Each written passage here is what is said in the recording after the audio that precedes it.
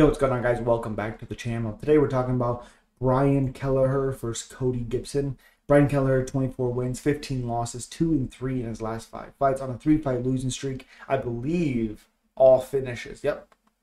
Yep. Knocked out by six months ago by Cody Garbrandt. He's a plus 190 underdog in this one. 37 years old, 5'6 with a 67, 64 inch reach. Cody Gibson, who's 19 and 10, 2 and 3 in his last five fights, is on a two fight losing streak, both decisions. Minus 230. It's so crazy because, like, the Brad Katona fight, he was winning and then he was losing. It's like the first half of it, he looked great, and then he just started to melt at the second half of each round. And then the freaking Miles Johns had so much potential to win that because he's so much taller than Johns with his knees, his output, and he just kind of lets John get, Johns get in his rhythm minus 230 favorite, which I do agree with. 36 years old, 5'10 to 71 inch reach, 7 inch reach with a 5 inch height advantage. Look for big knees in this one for uh, uh, Cody Gibson. I really think he could do some good good work with those knees, his frame. Average five times eight eight minutes and six seconds for Kelleher, eleven forty six for Gibson. Again, strikes landed per minute, 3.39 to 4 for Gibson.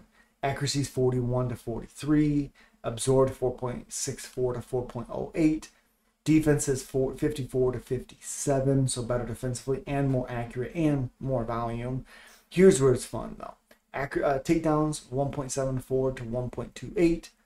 Accuracy is 41 to 28. Defense 60 to 68.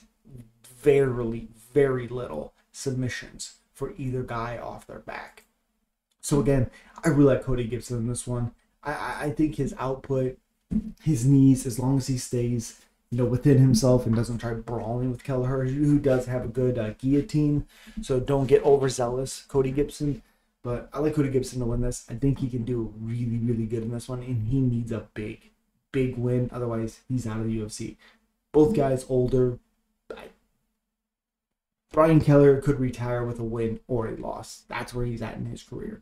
So I have Cody Gibson as your winner. As always, subscribe, like, comment, and then you're picking.